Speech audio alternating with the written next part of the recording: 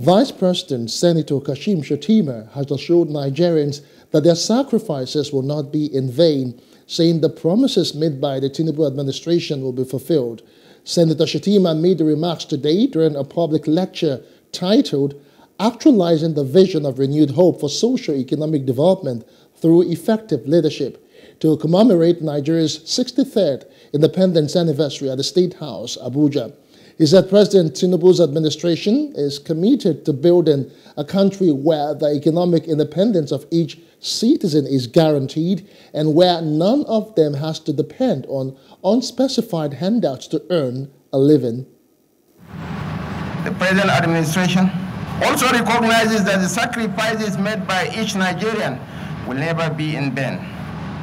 Such solidarity with our economic revival strategy, from the bustling streets of Lagos to the serene landscape of Enugu, has inspired our focus on diverse sectors, from agriculture to digital technology, from healthcare to education. We knew from the starting point of this race to serve the people that the track will not be without its holes and thorns. We knew that challenges will arise and obstacles will test our resolve. But as our history has shown, Nigerians are too ambitious to be broken by a temporary setback.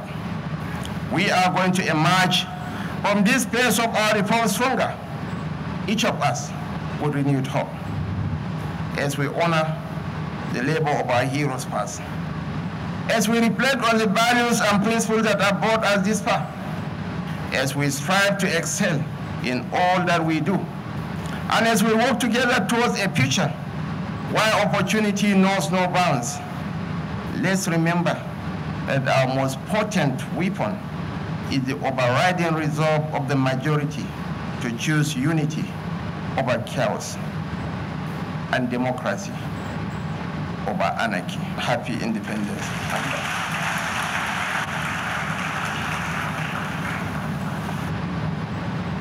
Let me assure you that beyond the celebration of the 63rd independence anniversary, the Office of the Secretary to the Government of the Federation as a coordinating point implementing or implementation of policies and decisions of government that has made full arrangements to document and carry forward the critical outcomes of the symposium to the highest level of political leadership. Where necessary, relevant national think tank institutions, such as the National Institute for Strategic Studies, NIPSS, and the Nigerian Institute for Social and Economic Research, NISER, would be engaged to deepen the articulation. Issue of coming up with a living wage is the foundation of a corrupt-free society. If a worker is paid well, he is paid enough to be able afford his basic needs. It will help to eliminate corruption in a significant way. Because he does not need to, to steal to be able to feed his family. He doesn't need to steal to be able, to be able to pay his rent. He doesn't have to steal to take his children to school.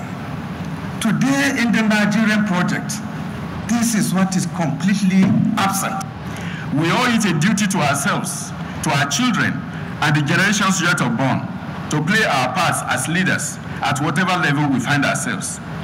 The election of President Bola Ahmed Tinubu, despite all the odds on his path, must minister to us as a nation about the awesomeness and grace of God. As the president, he has praised before us his vision of renewed hope. At this time in our nation's history, he is the eagle on our nation's coat of arms. The visionary has perched, but his plumage is going to be provided by all of us in leadership positions at all levels across the three tiers of government in this nation at national and subnational levels. The issues that I've identified in this paper are the feathers to be regenerated by the effective leadership that he is expecting you all to provide in your respective positions.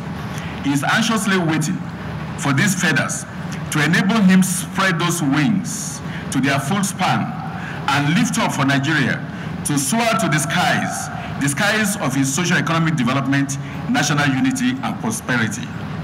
Happy 63rd anniversary of our nation's independence. Hello. Hope you enjoyed the news. Please do subscribe to our YouTube channel and don't forget to hit the notification button so you get notified about fresh news updates.